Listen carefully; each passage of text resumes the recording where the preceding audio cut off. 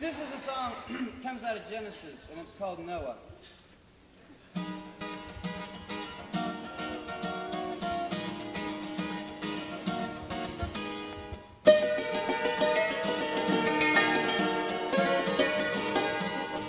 Wait. Hey, slow down. We've been we're doing record time. You guys, we're gonna be through the whole thing in five minutes, so we can slow down.